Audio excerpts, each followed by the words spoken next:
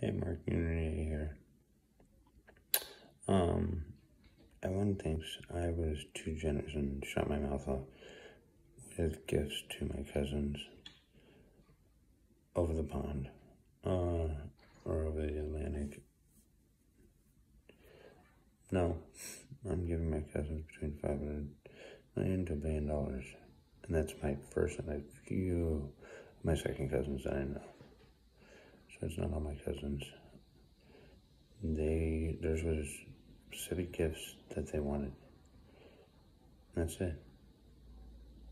That's all it is. Certain gifts they wanted instead of the cash.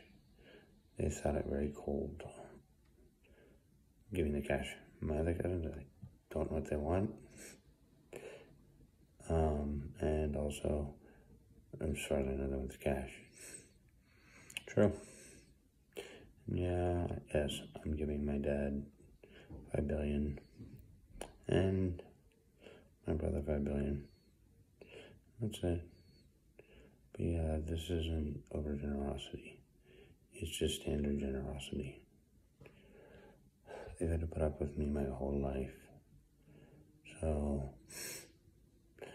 why not give them a little bit of money as a thank you? Mooney signing off. Yeah, this isn't out of the norm. Not completely. And I'm not trying to become some famous individual, in all honesty, if the camera's faded right now.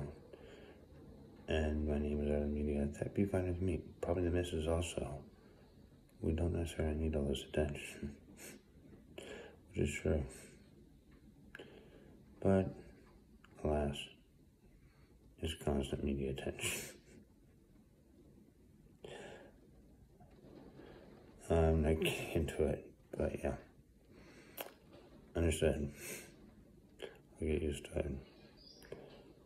I'm in the back of the class just to, to find me a little and kept quiet, but would answer questions at times and always got it right. How does he always get it right? Mm. Smartest person on the planet, I wonder why. But that's it. Community signing off. Thanks.